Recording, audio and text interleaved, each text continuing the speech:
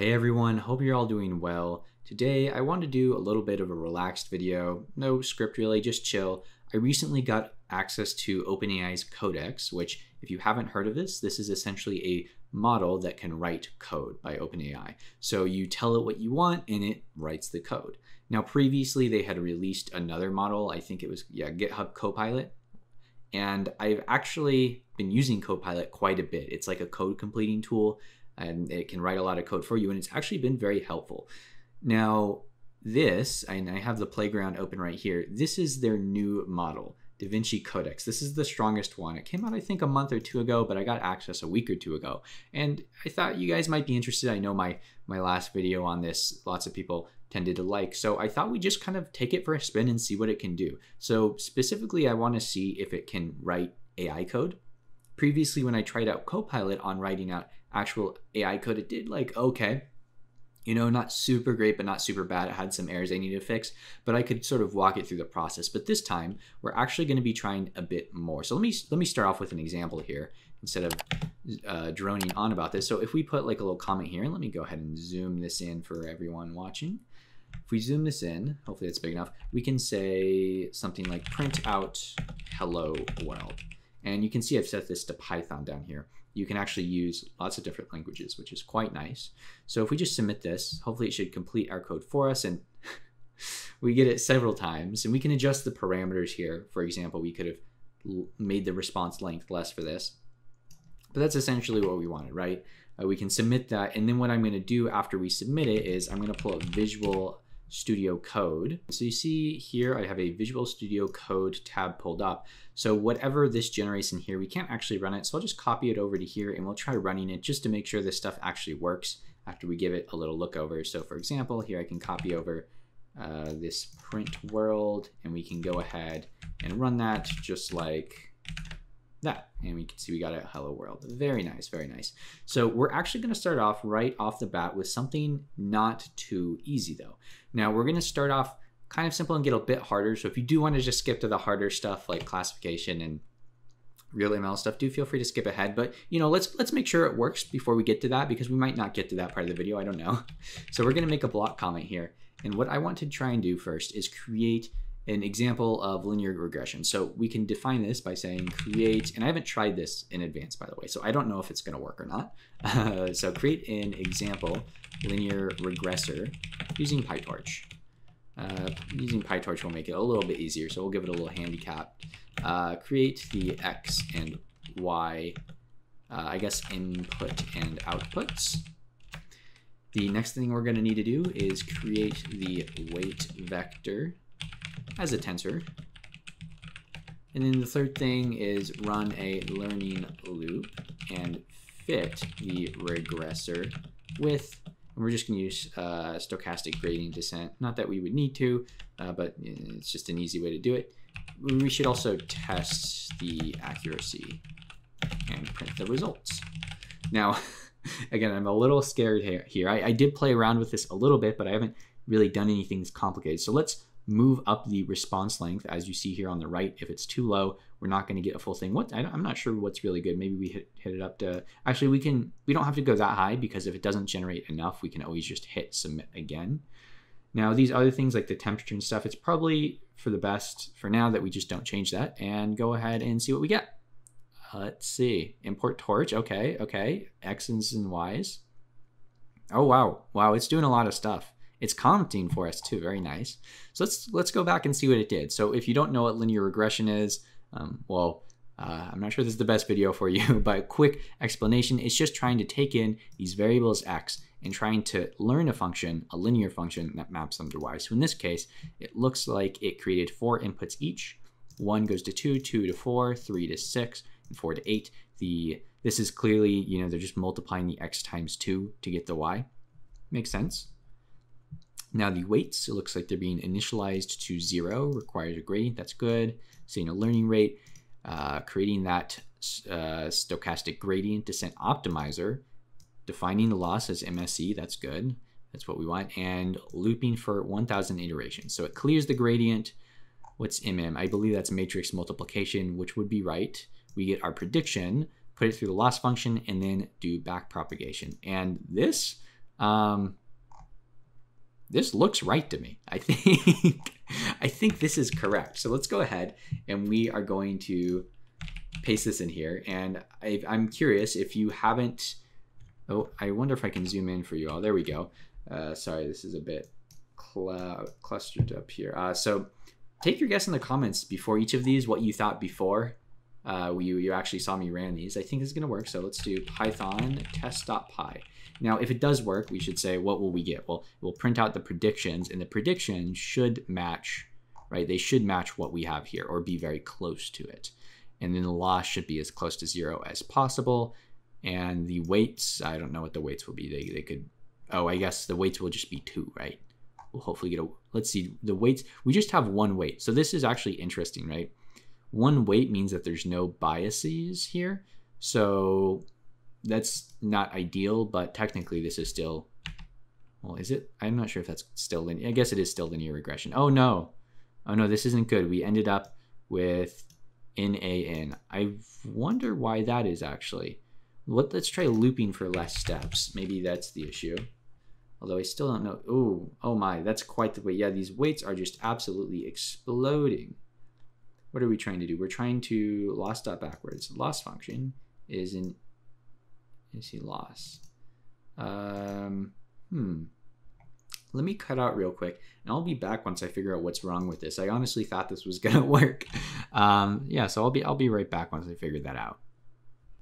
Okay, I'm back, and I did find the error. It didn't take me too long, and the error is actually very simple. There's one error that makes all of this work when we fix it, and that's that you see we created the learning rate right up here, but we never actually used it down here. So if we just go ahead and multiply this by the learning rate, we should be fine. So if we go ahead and run this, you can see we get out loss is almost zero, and we're printing out almost four, almost six, and almost eight.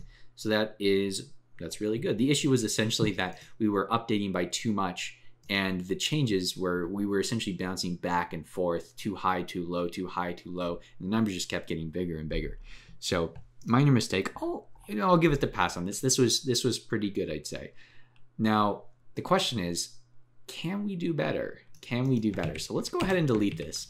That's pretty impressive. Uh, linear regression, one minor mistake.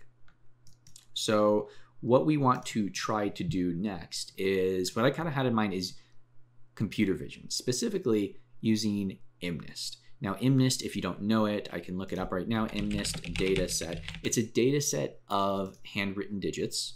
And what people often do is they download this, they look at the images, and they try and predict which image is which, or what number each image is based on the image itself. So here I would predict a 1, here a 3, here a 9, here a 0, and so on, right? It's sort of an intro task for lots of people learning ML, and that's why I thought it would be an interesting thing to do. It's not too simple, it's not like linear regression, but it's not too difficult either. So we're stepping up the difficulty a little bit. So let's download the MNIST data dataset, will be our step one. Two will be implement, implement uh, a feed forward neural network classifier using PyTorch. Again, we'll use PyTorch because that's what I like. Then train the classifier on the MNIST data to predict digit classes. So we'll throw in our training data and predict digits. And the last thing we'll do is test the accuracy of the classifier. And I'm going to put here download the MNIST dataset if not already downloaded. Downloaded. Now, this is a bit harder not only because it needs to do this, it also needs to download the data set now. So I'm, I'm hoping it just happens to know where to find it. It's a very famous data set, so I'm hoping that will be the case to me to do that. So let's go ahead and submit. Let's go ahead and submit so it does its imports again. Uh, data set, okay, I see. So it's grabbing it from, okay, let's let it finish. Let's let it finish. Okay, so let's submit again. We didn't get to the end, it looks like. Okay, this all looks like very familiar stuff. Oh, they're doing it fancy with a data loader too. Ooh, almost, almost. One more time. And, oh, it's evaluating too. I didn't even ask it to evaluate. So it's it's going above and beyond. That might have been the end of it, but let's try one more time. Yeah, that's the end. So this is a lot. Let's go let's go through this just a little bit, see what's going on. So we have our imports, we get a data loader. Now, yeah, datasets.mnist. So this is built into the datasets uh, module, which I'm not surprised by. Matter of fact, I'm sure I've used this in the past. So then this is our neural network. It looks like it's doing a standard fully connected network using linear layers. That's fine. I didn't specify for it to be a convolutional layer or anything. And we're just passing it through, passing it through, do a log softmax. Okay, makes sense. Should it be just a normal softmax? I'm sure that's fine. I'm sure it's fine. So we create our model, then we have our loss, our optimizer, some parameters, and then we load in our data. So these are loaders. Did we not already do this? datasets.mnist. So this is a data set and this is a data loader. Okay, a little bit different. And then we loop through the epochs, set the model to train. Let's see, grab our batch data, send it to the target device. And what did it set the device to? It's to device. Did it set the device to anything specific? I don't think it did. So I think that's an error we're going to run into, but we'll see. We'll see. And what does it do after that? It does the zero grad, throws the model, uh, sorry, throws the data into our model, calculates the loss, and also keeps a running loss. That's nice for, I'm sure, metrics. Then back propagates and prints out how it's doing. Then it puts into eval mode finally, and yeah, does an evaluation. It looks like pretty much the same thing. So this might work, except for I'm, I'm not, I'm worried about that device. Maybe I overlooked it, but let's copy and paste this over here and see if it works. Let's see if it works. What's the worst that could happen? Okay, so it's downloading the data. That's that's a good start. It'd be hilarious if it like wrote some virus that took remake me up. Device is not defined. Okay, so that's about what I expected. We can go ahead and define that. Uh, we can just say something like, we're just going to do device equals uh, CUDA. Hopefully I can record a video and do this at the same time. I'm sure it'll be fine. Sure it'll be fine. So let's see how this works now. Okay, so that's not good. Looks like the MAT2 was on the CPU. Yeah, okay, I see what's happening here. So we're creating our network, right? But it's not moving it to a device. However, it is moving the training data to a device. So instead, let's just do the CPU to make it easier. That is a bug in this, but I'll, I'll let it pass if it works on the CPU. MAT1 and MAT2 shapes cannot be multiplied. Hmm. Well, that's not very good now, is it? Let's see what it did. So it did 28 times 28 to 512. And then, so it passes it through the FC1, right? And is that the right shape? I think it's the right shape. I don't know if they give it to us like this, uh, but we'll see. I, I guess that's actually something we can check. Let's let's check the input shape of this. That might be our issue. So print x dot shape. I have a feeling this is going to be the issue. And we can see that the shape is 100 by 1 by 28 by 28. That is indeed the issue. What we're going to want to do is say x equals, oh, and there's Copilot coming in handy. Using Copilot with, uh, with Codex. That's actually kind of hilarious. So we'll reshape it. Normally, I guess we expect this to come in for a ConvNet, but let's see if that fixes it. Need a dimension. I wonder if this is because maybe in an older version it didn't need a dimension. I'm not entirely certain actually. But, oh, actually, okay. We got epoch 1 is, is it already done? That's kind of fast for doing on this. Oh yeah. Oh, the loss is going down. Okay. So this this might be working. this might be working. I guess we would need to double check the loss is just defined as what? Cross entropy loss. That should be good. And for the cross entropy loss, we're putting the uh, output and then the target. Yeah, I mean, this all looks good to me. So let's give it a moment to go ahead and finish this. I'll just talk a little bit about my sort of thoughts on the whole thing while we go through this because yeah, Codex, Codex and GitHub Copilot, which came out in very rapid succession, by the way, have really been incredible. I think when they first came out, I was like, this is probably going to be a ways away from actually, you know, being usable. Uh, I was wrong. I was quite a bit wrong on that front. I've actually been using Copilot over the last like month or two, And, you know, it doesn't do the heavy lifting for me. But if I just want to do some quick work or I forget like how a, like what a, or if I forget like what I, or I know what I want to do, but I forget what function does it, it can be very easy to just sort of put in a, a quick little thing, like a quick little comment and let Copilot figure it out for me. And it's, it's definitely sped my, my uh, process up. This looks like it's done though. And we got an accuracy of 94%.